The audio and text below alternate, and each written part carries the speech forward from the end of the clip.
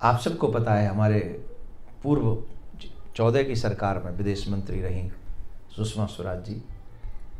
निश्चित तौर पर उन्होंने अपने कार्यकाल में जिस तरीके से भारत का गौरव बढ़ाया और जिस तरीके से उन्होंने विदेश मंत्री होने का फ़र्ज़ अदा किया, जब भी उनको कहीं पता चलता था कि भारतीय व्यक्ति कहीं विदेश में कहीं भी कोई परेशानी में है तो पर्सनली उसको हैंडल करना।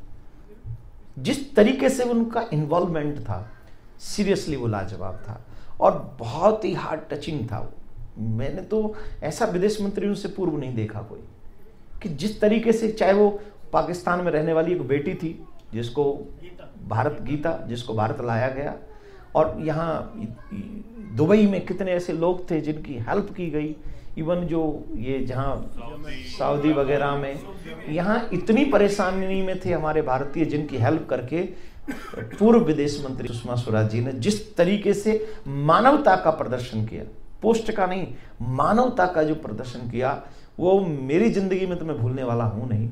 और संयोग बस अभी एक दो दिन पहले मुझे संदेश मिला कि ऐसा हुआ है।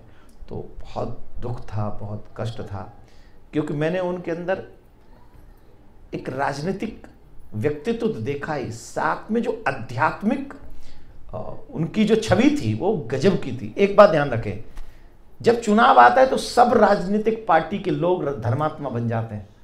सब, मोस्टली उनका काम है बनना, थोड़ा पॉपुलर, कुछ भी नाम होना या कुछ भी देखा, फ़ोटो छपाना। चुनाव के समय में जो लोग हमेशा मंदिरों में जाते थे, सोमवार तीन निकल गए, एक भी दिन कोई शिव जी के मंदिर में नहीं गया। तो इसको कहते हैं मौसमी भक्ति, ना? कि टाइम आया, चुनाव आया तो भक्ति की, नहीं आया तो नहीं की। लेकिन सुषमा जी की ये बात नहीं थी। सुषमा जी जितनी बड़ी राजनीतिक व्यक्तित्व थी, उससे भी बड़ी आध्यात्मिक व्यक्तित्व थी। मैंने उनको बहुत जाना है। वो कभी भी धर्म से अपना मुँह, किसी भी कंडीशन में अपना धर्म नहीं, से मुँह नहीं मोड़ती थी। और शायद इसीलिए भगवान ने भी उनके जाने से पूर्व, तीन घंटे पूर्व उनको यह मैसेज दिया भगवान ने भी कि अब कश्मीर में धारा 370 हटा दी गई। और ये संदेश सुनने के लिए शायद वो इस धरती पर इंतज़ार कर रही थी।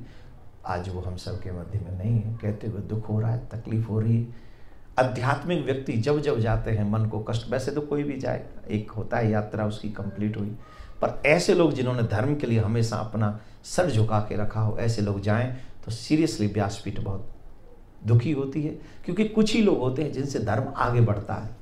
कई लोग तो बड़ी पोस्ट पर जाने के बाद धर्म की बात ही नहीं करते। लेकिन वो ऐसी थी, वो हर मोड़ पर अपने धर्म को आदर देती थी। इसलिए हम सुषमा स्वराज जी की आत्मा के लिए शांति करते हैं और हम प्रार्थना करेंगे, एक मिनट आप सब भी अपनी अपनी जगह पर बैठकर एक मिनट का मौन रखें और फिर आज के सत्र को हम पूरा करेंगे। मैं जब राधे राधे बोलूँ तो उसके बाद सभी मौन रखेंगे। राधे राधे